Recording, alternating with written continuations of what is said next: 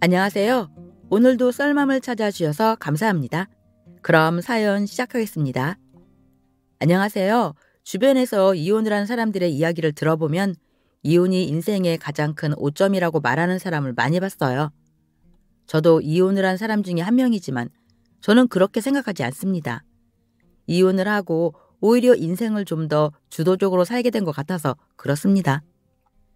나 개 취급한 거 니들이 먼저야. 내가 이렇게 일했으면 알아서 대접해 줘야지. 물론 이혼을 안 하고 살 수 있었다면 더 좋았겠지만 그래도 후회는 없어요.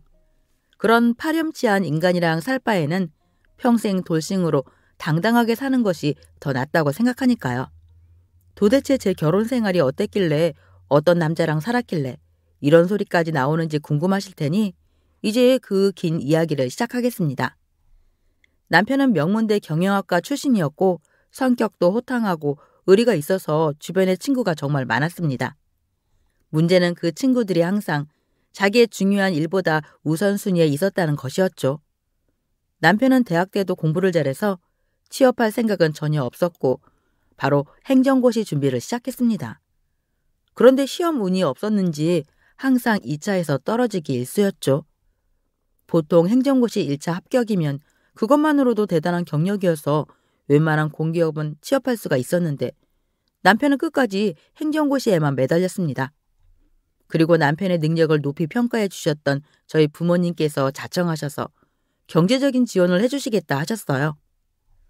자네는 공부만 해. 나머지는 우리가 알아서 지원해 줄 테니까. 이처럼 친정 부모님이 먼저 아낌없이 지원해 줄 만큼 결혼 초반에는 예의 바르고 능력 있는 성실한 남자였습니다. 그러다 점점 나이가 들어서 취업은 애저녁에 물 건너 갔고 반드시 행정고시에 합격을 해야만 하는 절박한 상황에까지 이르렀죠. 이번이 진짜 마지막이라며 시험 준비를 하던 남편은 2차 시험을 하루 앞둔 날 밤에 전화 한 통을 받았습니다. 평소에 절친하게 지내던 친구였죠. 친구는 안 좋은 일에 휘말리게 됐다면서 남편에게 도움을 청했습니다. 의리 있는 남편은 한달음에 친구를 도와주러 달려갔어요. 그때가 결혼하고 2년 정도 지났을 때였고 제가 아이를 막 출산한 지 얼마 안 돼서 친정에 가 있느라 전혀 몰랐습니다. 그저 남편이 무사히 시험 준비해서 2차 시험을 보러 갔겠거니 하고 철석같이 믿고 있었습니다. 그런데 다음날 시험을 보러 갔어야 하는 남편한테 전화가 왔어요. 시험장이 아니라 경찰서에 끌려왔다고 하더군요. 여보, 일이 좀 복잡하게 됐어. 친구놈이 곤란한 일을 당했는데 도와주려고 왔다가는 나까지 붙잡혀 들어왔어. 그래서 2차 시험 보러 못 갔어. 미안해, 여보. 남편의 전화에 놀라서 바로 경찰서로 달려갔습니다. 남편의 이름을 크게 부르자 남편이 고개를 들었는데 얼굴은 온통 멍투성이에 코피까지 터져 있었어요. 어떻게 된 일이냐고 묻자 남편은 아무 말도 못하고 있고 옆에 앉아있던 남편의 친구가 대뜸 제 앞에 무릎을 꿇더니 사실대로 실토했습니다. 재수 씨, 제가 빚쟁이들한테 쫓기다가 이 녀석한테 도움을 청했는데 그러다가 싸움이 났어요.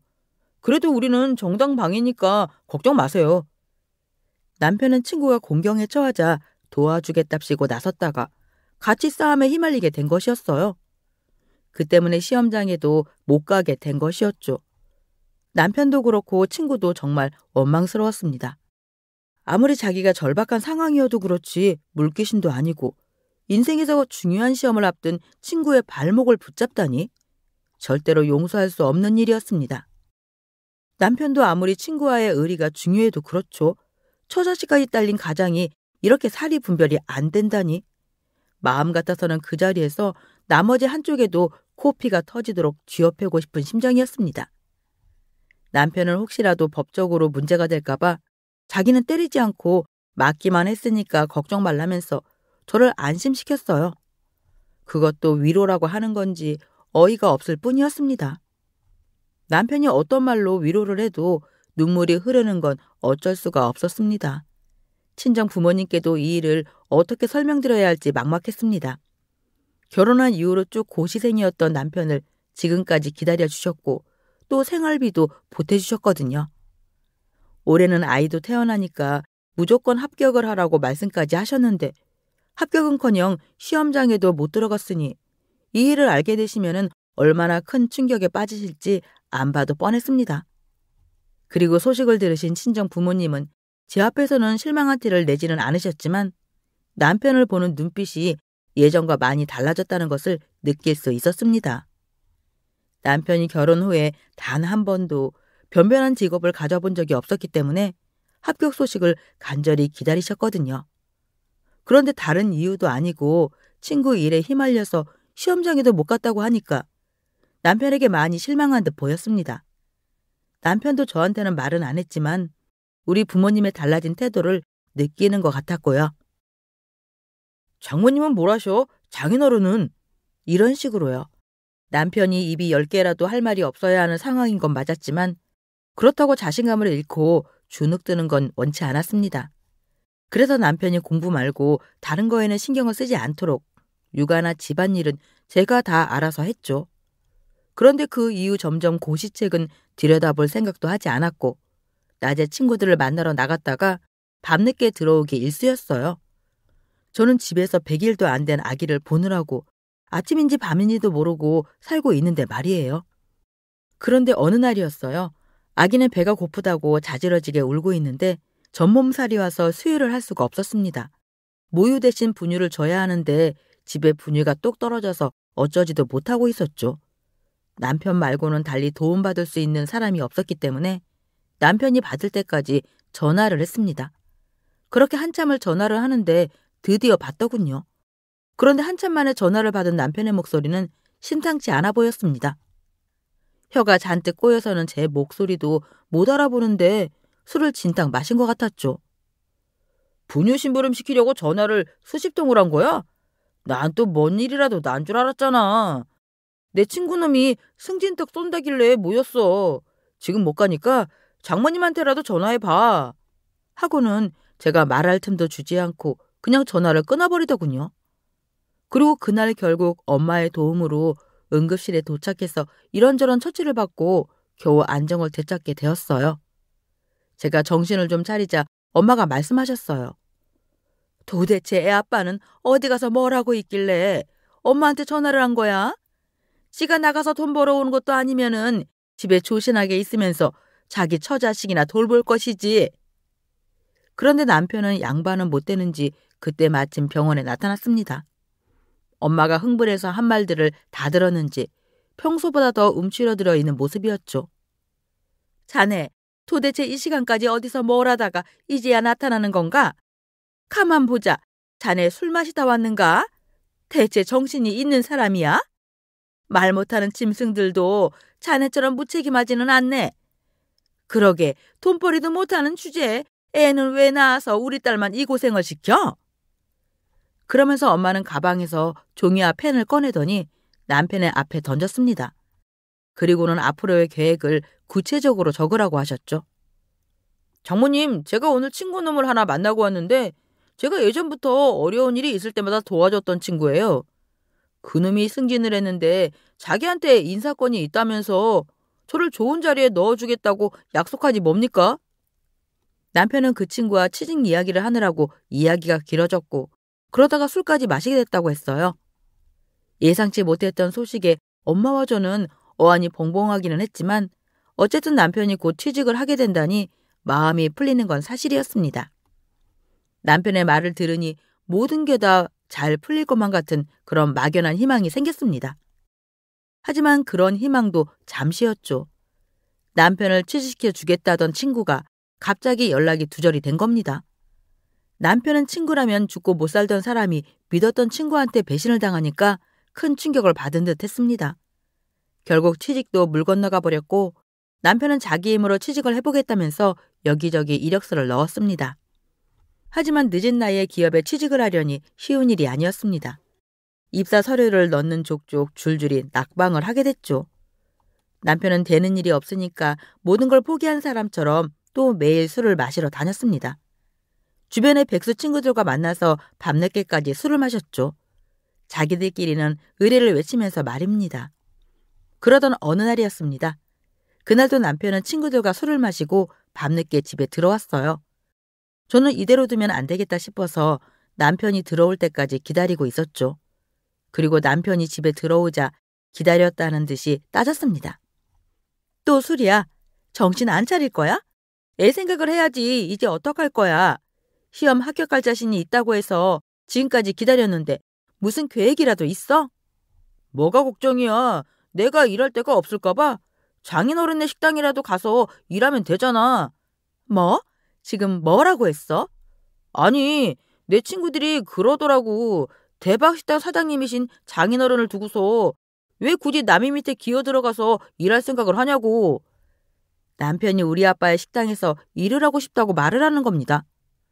사실 아빠가 지역에서 이름난 한우 식당을 운영하고 계셨거든요. 3층짜리 단독 건물이었기 때문에 그 정도면 규모도 큰 편이었고 장사가 아주 잘 됐죠. 식당을 찾는 손님이 워낙 많다 보니까 주변 상권도 점점 발달하기 시작했습니다.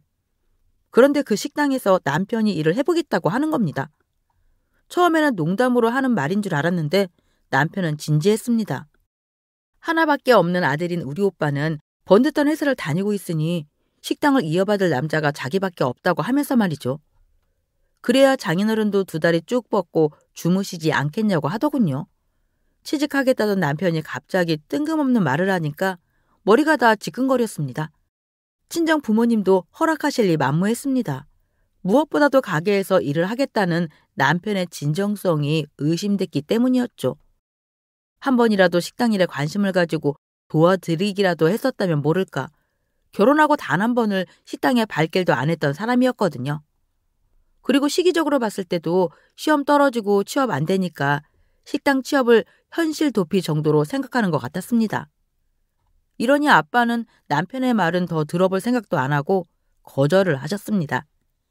그리고는 1년이라도 본인의 힘으로 취직을 해서 회사 생활을 경험해보고 오라고 하셨죠. 그러고 나서도 식당에서 일을 하고 싶은 마음이 있다면 그때 받아주겠다고 하셨습니다. 그전에는 아빠의 식당에는 얼씬도 하지 말라고 강하게 말씀하셨어요. 남편은 아빠의 완강한 태도에 굉장히 섭섭해 했습니다. 결혼할 때는 사이도 아들이라고 하시더니만 결국 이렇게 결정적인 순간에 본심이 나오는 거야? 내가 친아들이었어 봐. 취직 못하고 있는 걸 그냥 지켜만 보고 계시겠냐고.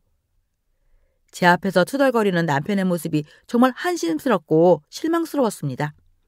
예전에 제가 존경하고 선망했던 남편의 지적이고 자신감 넘쳤던 모습은 찾아볼 수가 없었으니까요.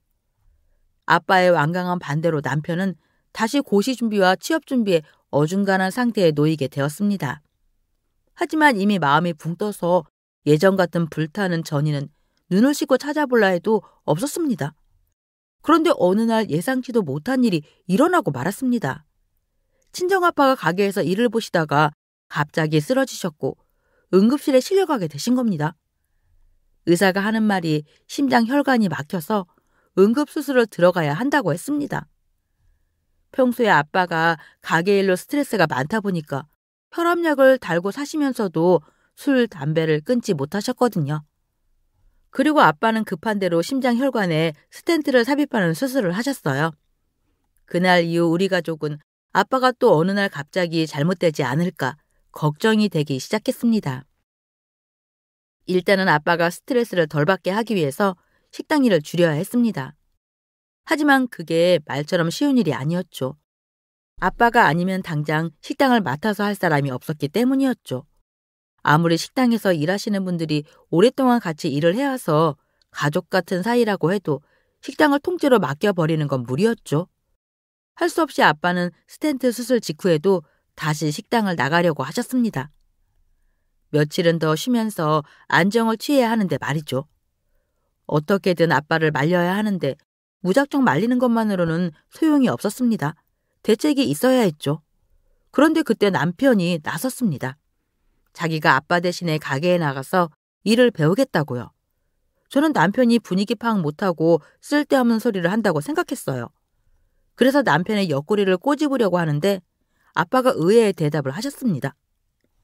식당에서 일을 할 때는 사장 사이라고 편한 일만 할 수 있는 것도 아닌데 괜찮겠냐고 물으셨죠. 명문대까지 나와서 이런 일을 해야 하나 싶을 정도로 자괴감에 빠질 순간도 있을 거라고도 말씀하셨습니다. 남편은 한치의 망설임도 없이 각오가 되어 있다고 대답했습니다. 그렇게 남편도 식당에서 일을 배우기를 원하는 상황이었고 상황이 상황이다 보니까 그렇게 할 수밖에 없었습니다. 시어머니는 남편이 식당에서 일을 하게 되었다고 하니까 자기 잘난 아들 데려다가 고생시킨다고 속없는 말을 내뱉으셨습니다. 내가 우리 아들 대릴사이 되라고 그 고생까지 하면서 명문대 보낸 게 아닌데 사돈도 참 너무하시지. 멀쩡한 자기 아들은 뒀다가 뭐 하시고 우리 아들을 그 고생을 시키시나? 그런데 예전부터 시어머니는 남편이 우리 아빠 식당을 이어받기를 내심 원하고 있었다는 걸 전 알고 있었습니다. 그래서 남편이 행실을 포기하겠다고 했을 때 또 남편이 계속 취직이 안 되어서 제가 절망할 때도 은근슬쩍 식당에 일할 자리가 없느냐고 떠보기도 했었죠. 그러던 중 아빠는 본인의 건강이 안 좋아서 할 수 없이 남편에게 맡기기는 했지만 늦가기 사회 초년생인 남편이 식당 사람들과 잘 어울릴 수 있을지 하찮은 일이라고 느끼지는 않을지 걱정하셨어요. 그런데 남편은 이런 우려를 완전히 불식시켰습니다. 직원 관리, 위생 관리, 돈 관리, 고객 관리 등등 식당에서 일어나는 전반적인 업무를 파악하려고 부지런히 공부를 했고 관련된 자격증까지 빠르게 취득을 해 나갔습니다. 그리고 직원들도 금방 남편을 아빠처럼 신뢰하고 잘 따랐습니다. 남편은 누구보다도 일찍 출근해서 식당의 위생 상태를 확인하고 그날 사용할 식재료의 상태까지 철저히 체크를 했습니다. 그리고 손님이 많아서 일손이 딸릴 때는 홀 서빙을 도와주거나 직접 팔을 걷어붙이고 주방에 들어가서 설거지를 도와주기도 했어요. 항시 퇴근도 누구보다도 늦게 했습니다. 이런 노력에 식당에서 오래 일을 해온 직원들도 감동을 한 거죠. 정말 오랜만에 남편이 신이 나서 뭔가를 열심히 하는 걸 보니 제가 좋아했던 남편의 모습을 되찾은 것 같아서 정말 보기 좋았습니다. 그동안 남편을 믿어주지 못하고 반대만 했었던 게 미안해질 정도였죠. 아빠도 남편의 그런 모습을 보며 더할 나위 없이 만족해 하셨습니다. 그제야 아빠도 사이가 아들보다 낫다면서 남편을 추켜 세워 주셨어요. 그렇게 완벽하게 남편은 아빠의 빈자리를 채워나갔고 덕분에 아빠는 생각했던 것보다 훨씬 빨리 식당 일에서 조금 자유로워질 수 있었습니다. 그런데 얼마 뒤 이 모든 평화가 뒤틀리는 일이 일어나고 말았습니다. 아빠가 식당 건물을 상속하기 위해서 세무사를 만나러 다니고 계실 때였죠. 대략 30억에서 40억 정도의 건물이었습니다. 아빠는 오빠와 제 이름 앞으로 식당 건물을 똑같이 반반씩 물려주겠다고 하셨어요. 기쁜 마음에 이 소식을 남편에게 전했습니다. 남편도 당연히 기뻐해 줄 거라고 생각했죠. 그런데 남편의 반응은 예상 밖이었습니다. 형님이랑 당신이랑 반반씩 나눠 갖는다고? 그럼 내 몫은 3분의 1로 해야지. 자기 몫이라니? 내가 물려받으면 그게 자기 몫이지. 왜 남처럼 말을 해? 그래도 이건 아니지. 형님은 지금까지 식당 일을 위해서 한 것도 없는데 아들이라는 이유만으로 가게를 반으로 뚝 잘라서 갖는다는 게 말이 돼? 지금까지 식당에서 개같이 일한 나는 뭐냐고? 남편의 너무나도 솔직한 말에 놀라고 말았습니다. 저랑 오빠가 식당 건물을 물려받긴 했지만 사실상 식당을 경영하는 건 남편이었으니까요. 아빠는 그동안 남편이 식당 일을 하면서 세운공을 인정해서 식당을 운영하는 실질적인 노하우를 전수해 주겠다고 하셨습니다. 그렇게 되면 사실상 식당의 주인은 남편이 되는 거였죠. 그런데 남편은 그것만으로는 성에 안 찼던 모양이었습니다. 보통의 직장인보다 훨씬 많이 받는 월급임에도 불구하고요. 하지만 아빠의 입장에서 남편이 가게에서 일을 한다는 이유로 건물인 아빠의 재산을 오빠 저 그리고 남편에게 3등분해서 물려주는 것도 말이 안 되는 거였습니다. 저 또한 그렇게 생각했고요. 그런데 남편의 생각은 그게 아니었던 거였죠. 결국 그날 이후로 남편의 행동에는 큰 변화가 생기게 됐습니다. 점점 출근 시간은 늦어지고 퇴근 시간은 빨라졌습니다. 출퇴근 시간을 목숨처럼 지켰고 직원들의 출퇴근 시간도 칼같이 체크하던 사람이 말이죠. 어느 날은 저녁 장사 피크 타임일 때 퇴근을 하고 집에 왔길래 왜 그렇게 빨리 왔냐고 물으니까 이제는 직원들이 자기 스타일에 완전히 길들여졌기 때문에 자기가 없어도 잘 돌아간다고 하는 겁니다. 식당은 아빠가 있을 때도 잘 돌아갔습니다. 그런데도 아빠는 식당을 운영해온 30년이라는 세월 동안 단 한 번도 가게를 비운 적이 없었습니다. 식당에서 일한 지 1년도 채 되지 않는 남편이 할 소리는 아니었죠. 그날은 집으로 돌아온 남편을 다시 식당으로 돌려보낼 수도 없으니 그렇게 넘어갔습니다. 하지만 두 번 다시 이런 일은 없어야 한다고 분명히 말을 했습니다. 그랬더니 남편은 불쾌하다는 듯이 저한테 따져 물었습니다. 내가 니네 아빠 밑에서 이런다고 너까지 나를 바다 걸어보냐? 하긴 니네 집 식구들 그거 참 잘하더라. 사람 괴 취급하는 거 말이야. 그동안 남편의 마음속에 쌓여있던 불만들이 한순간에 터져나왔습니다. 식당 건물 상속 문제 이후로 삐딱선을 탄 건 알고 있었지만 남편의 입에서 그런 원색적인 말들이 쏟아져 나오니까 당황스럽더군요. 제가 무슨 뜻이냐고 말꼬리를 잡고 늘어지자 남편은 더는 저랑 더 말을 섞고 싶지 않는 듯 집을 나갔습니다. 그렇게 나간 남편은 다음날 아침이 돼서 집에 들어왔는데 태도가 180도 달라져 있었습니다. 대뜸 제 손을 잡고 자기가 한 말이 너무 심했다며 용서해달라고 하더군요. 솔직히 건물 상속 문제로 실망하기도 했고 무시당하는 것 같아서 말이 심하게 나간 것 같다고 했습니다. 그리고는 앞으로 다시 예전처럼 성실하게 일을 하겠다고 약속을 했습니다. 그래서 앞으로는 혼자서 생각하지 말고 이해가 안 되는 게 있으면은 오늘처럼 솔직하게 다 말해달라고 했습니다. 남편이 아빠의 식당에서 일하면서 이런 오해가 생길 거라고는 이미 예상하고는 있었습니다. 그래서 처음에 남편이 식당 일을 하겠다는 것도 반대했던 것이었고요. 그리고 다시 마음을 다잡고 일을 하기를 바랬습니다. 하지만 이 시기쯤 저도 모르게 조금씩 경계심을 갖게 되더군요. 사람 절대 변하지 않으니까요. 그런데 그날 이후로 남편이 조금씩 이상해지기 시작했습니다. 어느 날은 시댁에 갔는데 못 보던 안마 의자가 있는 겁니다. 그것도 고급 브랜드에서 나오는 최고 모델이었죠. 시부모님께서는 다달이 연금을 받아서 생활하셨기 때문에 그런 고가의 안마 의자를 살 수 있을 만큼 여유는 없었죠. 시부모님이 목돈이라도 생기신 건가 궁금해하고 있었는데 시어머니께서 하는 말을 듣고 놀라고 말았습니다. 요즘 일일 일안마 의자 하고 있다니까. 우리 아들이 효자이지. 내가 갖고 싶다고 딱 한 번 말했는데 바로 다음날 일시불로 쏘더라고. 그 말에 남편이 화들짝 놀라며 시어머니의 말을 막았습니다. 그러면서 제 눈치를 보면서 엄마가 허리가 안 좋아서 그렇게 됐다며 저한테 미리 상의하지 못해서 미안하다고 하더군요.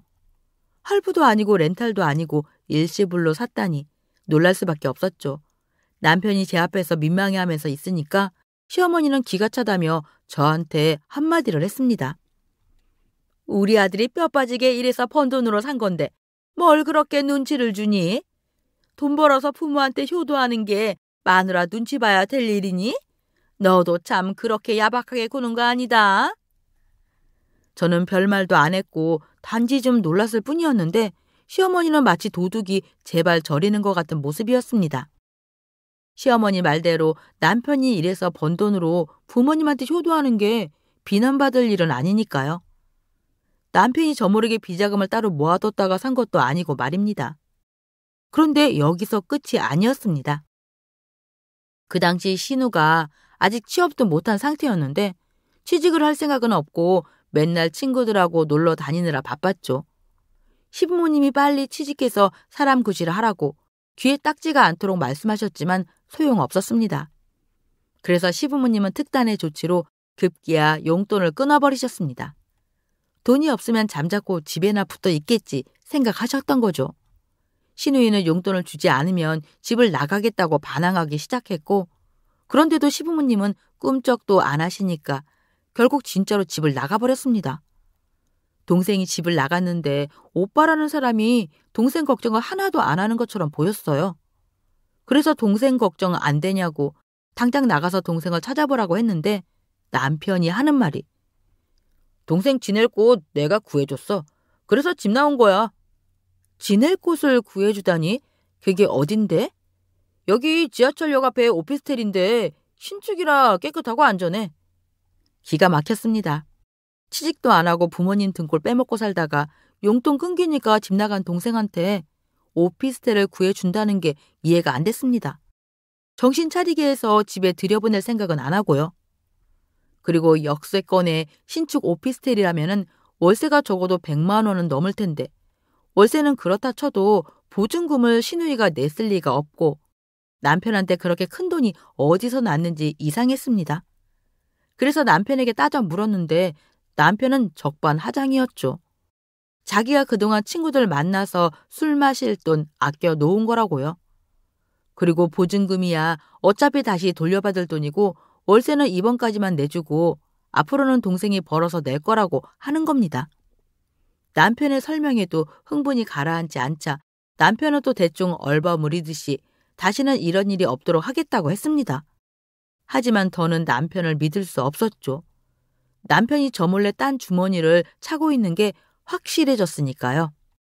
그 돈이 도대체 어디서 나오는 것인지 알아야만 했습니다. 그러던 어느 날 주말 저녁이었습니다.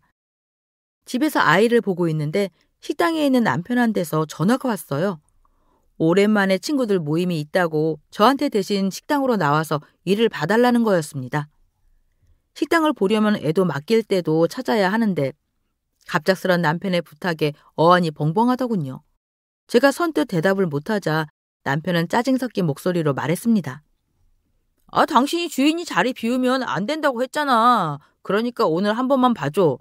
갑자기 이런 부탁해서 미안한데 나 그동안 친구들도 못 만나면서 일해온 거 당신도 잘 알잖아. 그러니까 오늘은 좀 쉬게 해주라. 남편의 말이 틀린 말은 아니었습니다. 친구를 그렇게 좋아하던 사람이 식당 일 하느라 주말도 없이 일만 해왔으니 한 번쯤은 쉬는 날도 있어야겠다고 생각했죠. 그래서 급하게 아이를 시부모님한테 맡겨야 했어요. 그런데 시부모님은 애를 맡아줄 때도 곱게 해주는 법이 없었습니다.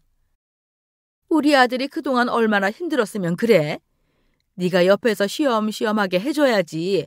그런 게 내조라는 거야.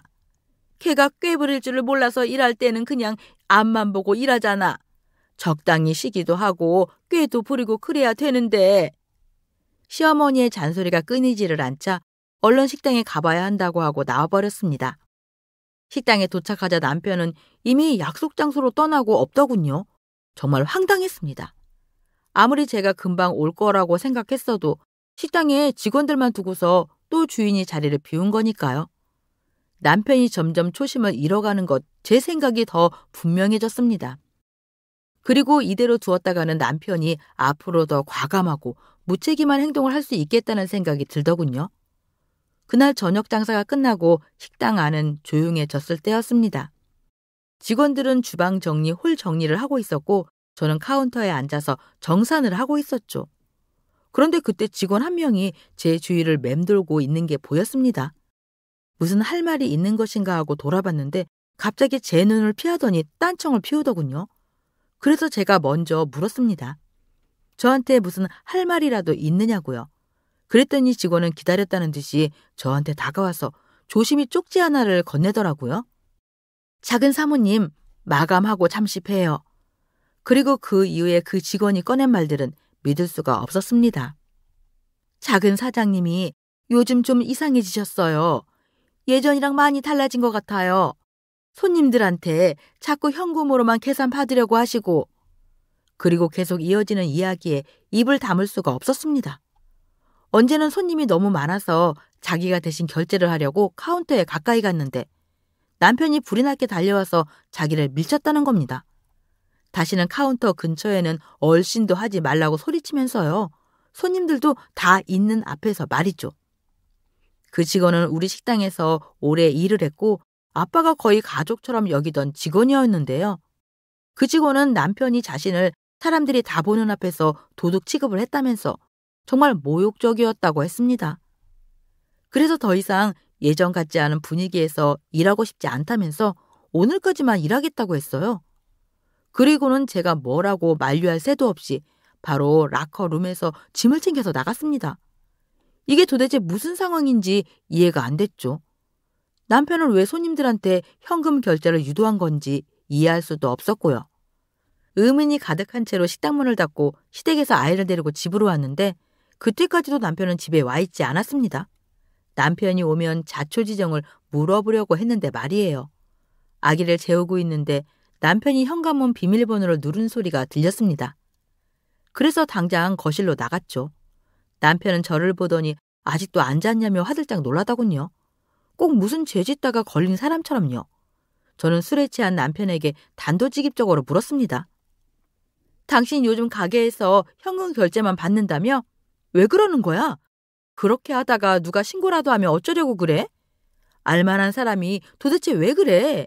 그러다 영업정지 당하거나 과태료라도 내게 되면 어쩌려고? 배 씨가 그래? 내가 현금 결제만 받는다고? 또 쓸데없는 소리를 했네. 배 씨가 잘 모르고 하는 소리야. 별일 아니니까 신경 쓰지 마. 남편이 별일 아니라고 하는데 그게 더 믿음이 안 갔습니다. 남편이 식당에서 엉뚱한 짓을 하고 있는 것 같다는 느낌이 들었습니다. 직원의 말만 듣고 그렇게 생각한 것은 아니었고 장부를 보니 이상한 점이 한두 가지가 아니었거든요.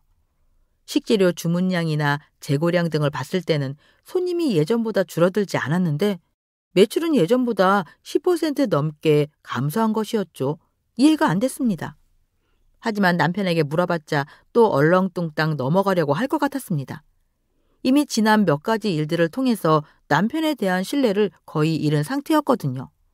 그래서 장부를 가지고 아빠에게 가서 말씀을 드렸습니다. 그랬더니 아빠는 다시 식당에 나가야겠다고 하셨습니다. 어차피 건강도 많이 회복이 됐고 평생 식당 일을 하면서 살았는데 집에서 가만히 요양만 하고 있으려니 오히려 더 병이 날 것 같다면서요. 아빠가 식당에 나타나자 남편은 당황한 기색을 감추지를 못했습니다. 저도 아빠도 남편에게 미리 귀뜸을 해주지 않았거든요. 아빠는 복귀한 첫날 식당의 모든 장부와 포수기를 확인하셨고 직원들도 일일이 다 면담을 했습니다. 그리고는 아무 말 없이 남편을 부르셨죠. 아빠는 남편에게 그동안 쉬지도 못하고 일하느라 고생 많았다면서 당분간 식당에 나오지 말고 쉬라고 하셨습니다. 남편은 장인어른께서 일하시는데 자기만 쉴 수 있겠냐면서 함께 일하겠다고 했지만 아빠는 칼같이 자르셨어요. 남편을 돌려보내고 아빠는 바로 저에게 전화를 하셨고 믿을 수 없는 사실들을 이야기해 주셨습니다. 남편이 식당 돈을 횡령한 정황들에 대해서 말이죠. 그동안 남편은 손님에게 현금 결제를 유도하고 장부에는 누락시킨 것이었죠. 손님들에겐 포스기가 고장났다고 말도 안 되는 거짓말을 하면서요. 게다가 서비스 차원이라면서 음식값을 10% 할인도 해줬다고 합니다. 매출 건수로 잡힌 포스기도 조작하고요. CCTV로 현금 결제할 때 들어온 손님 수를 일일이 카운터했고 그 누구도 결제를 하지 않았던 것이었죠. 횡령한 돈만큼이요. 그렇게 현금은 자기의 뒷주머니에 챙긴 것이었죠. 직원들도 이 시기쯤 어느 정도 눈치를 채고 있었는데 아무 말도 할 수 없었던 겁니다. 그래도 사장 대행이니까요. 그렇게 따로 챙긴 현금으로 시부모님에게 안마 의자도 선물하고 신우의 오피스텔 보증금을 내준 것이었습니다. 모든 사실을 알게 되고 몸이 너무 떨려서 아무 말도 할 수 없었죠. 아빠는 그런 저를 안심시켰습니다. 아빠가 이 지역에 유능한 변호사 몇 명 알고 있으니까 걱정하지 마. 그 자식이 기록한 장부랑 직원들 증언, 증거물로 제출하면은 혐의 입증하는 데는 문제 없을 거야. 너는 그냥 모르는 척하고 있어. 아니면 그 자식이 빠져나가려고 무슨 짓을 꾸밀지 몰라. 아빠의 전화를 끊었는데도 손이 떨리고 진정이 안 되더군요. 그런데 그때 남편이 집에 왔습니다. 평소랑 똑같이 행동하려고 했지만 그 인간의 얼굴을 보는 순간 구역질이 날 것 같았죠. 남편은 뭔가 의심스럽다는 표정으로 저에게 말했습니다. 아버님께서 나보고 당분간은 식당에 나오지 말라시네. 당분간 쉬라는데 꼭 영원히 쉬라는 말처럼 들리더라고. 이제 내가 필요 없다는 건가? 조금도 잘못을 뉘우치지 못하는 남편의 태도에 면상을 후려치고 싶었지만 참아야 했습니다. 제가 섣불리 행동했다가는 이를 그르칠 수도 있었으니까요. 그런데 남편은 머리가 비상하고 눈치가 빠른 사람이라 저의 이런 불안한 심리 상태를 금방 눈치채 버렸습니다. 지금 니들 뭔지 꾸미고 있는 거야? 사실대로 말해. 라며 제 어깨를 잡고 세차게 흔들기 시작했습니다. 저는 머리가 핑 돌아서 그 자리에 주저앉고 말았죠. 그러더니 남편은 손에 잡히는 모든 걸 저한테 집어던지기 시작했습니다. 미친 듯이 소리치면서 말이죠. 자고 있던 아이가 깨서 울기 시작하는데 저는 아이를 보호해야겠다는 생각밖에 없었습니다. 그래서 바로 아이에게 달려가는데 남편이 뒤에서 저를 밀어서 그대로 바닥에 넘어지고 말았습니다. 그 순간 남편에게 위협을 느꼈고 당장 경찰에 신고를 했습니다. 곧 경찰이 도착했고 경찰은 심상치 않은 집 상태를 보고 바로 남편을 연행해 갔습니다. 저도 진술을 해야 했기 때문에 경찰서에 갔는데 조금 있다가 시어머니가 어떻게 알았는지 경찰서에 나타났습니다. 그리고는 제 머리채를 잡더니 미친 듯이 소리를 지르기 시작했죠. 멀쩡한 우리 아들 데려다가 식당에서 부려먹을 때는 언제고? 너만 아니었어도 우리 아들 지금쯤 행시 붙어서 떵떵거리면서 잘 살았을 거야. 어머니 아들이 시험 전날 경찰서 끌려가느라고 시험장에도 못 들어간 거 모르고서 그딴 소리를 하세요? 시어머니의 말도 안 되는 말에 저도 큰 소리로 받아쳤습니다. 그리고는 남편에게 네가 한 짓 다 알고 있고 명백한 증거까지 확보했으니까 횡령죄와 폭행죄로 고소해 주겠다고 했습니다. 애 아빠이고 뭐고 없으니 죄 지은 만큼 제값 치르라고 했죠. 그랬더니 남편은 횡령죄가 뭔지 알기나 하냐면서 큰 소리를 떵떵 치더군요. 우리가 어떤 증거물을 확보했는지도 모르고 떠드는 소리였죠. 그때는 우리가 가진 카드를 보여주기에는 일렀기 때문에 마음대로 떠들게 해줬습니다. 경찰서를 나온 저는 아기와 함께 친정에 갔습니다. 남편이 저를 위협했다는 사실을 알게 된 아빠는 그때부터 일사천리로 소송을 진행했습니다. 그리고 재판날이 다가왔습니다. 법원 앞에서 남편을 만났는데 그때까지는 남편이 우리가 별다른 증거도 없이 자기에게 겁을 주는 것이라 생각하는 것 같았습니다. 자기 딴에는 완전 범죄라고 믿고 있었던 겁니다. 그래서 제가 남편에게 싸늘하게 설명해 줬습니다. 네가 엉터리로 쓴 장부와 포스기 조작한 거 다 증거물로 제출했다고요. 그랬더니 남편의 눈빛이 흔들리는 게 보였습니다. 그리고 제가 말했죠. 지금이라도 깔끔하게 이혼하고 아빠에게 사과하라고요. 그렇지 않으면 너는 유죄 판정받고 징역을 살게 될 거라고 했습니다. 하지만 남편은 끝까지 물러서지 않겠다고 하면서 저보다 앞장서서 법원에 들어갔습니다. 그리고 재판 시간에 맞춰 법정에 들어섰는데 아무리 기다려도 남편이 오지를 않는 겁니다. 제가 전화를 해봤는데도 받지 않더군요. 제가 들이민 증거가 너무 명백하니까 선고를 늦추기 위한 꼼수를 부렸던 겁니다. 하지만 재판장은 남편이 사전에 미리 불출석 사유서를 제출한 게 아니라서 그대로 선고를 진행했고 결국 남편은 횡령죄와 폭행죄로 집행유예를 선고받게 되었습니다. 남편이 식당 재산을 횡령한 사실로 남편과 이혼 소송도 순조롭게 진행되었습니다. 무사히 남편과 이혼을 하게 되었고 당연히 아이의 양육권, 친권까지 제가 다 가져올 수 있었습니다. 물론 손배에게 위자료까지 독하게 받아냈습니다. 이혼 후에 남편은 몇 번 우리 식당으로 찾아와 한 번만 기회를 달라며 재결합을 하자고 저를 설득하려고 했지만 돌이키기에는 너무 늦었죠. 남편과 이혼하고 저는 아빠의 식당을 이어받아서 운영하고 있습니다. 예전 같았으면 꿈도 못 꿨을 일인데 내 아이에게 당당한 엄마의 모습을 보여주고 싶어서 시작하게 됐습니다. 지금까지는 항상 누군가가 제 인생을 이끌어 주기만을 바라면서 살았는데 이제는 좀 더 주도적으로 인생을 살아가게 된 것 같습니다. 저도 모르게 나약해지려고 하다가도 아이를 보면 다시 정신을 바짝 차리게 되는 것 같기도 합니다. 아니, 독하게 살아야겠죠. 오늘 썰맘 사연글에 여러분의 소중한 댓글 참여 기다리면서 인사를 드리겠습니다. 함께 읽어주셔서 감사합니다.